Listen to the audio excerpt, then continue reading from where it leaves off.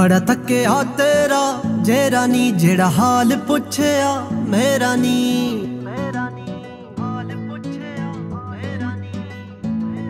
ਬੜਾ ਤੱਕਿਆ ਤੇਰਾ, ਜੇ ਰਾਨੀ ਜਿਹੜਾ ਹਾਲ ਪੁੱਛਿਆ ਮੇਰਾ ਨੀ ਨੀ, ਮੈਂ 7 ਦਿਨ ਕਾਲਜ ਆਇਆ ਨੀ, ਤੂੰ ਪਿੰਡ ਮਾਰਿਆ, ਗੇੜਾ ਨੀ।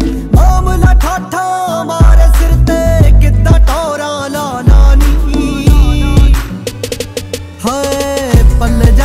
ਸਤ ਕਨਾਲ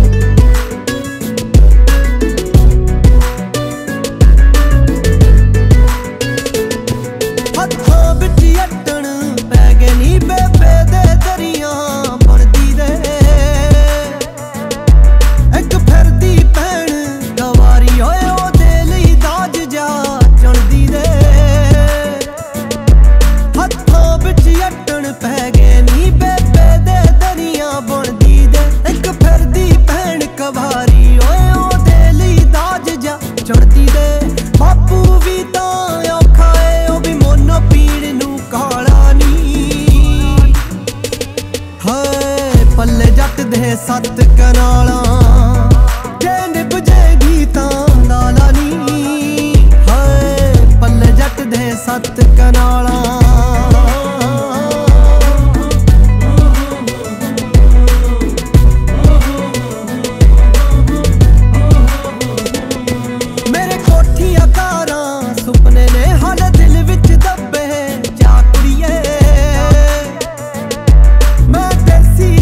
ਹਾਂ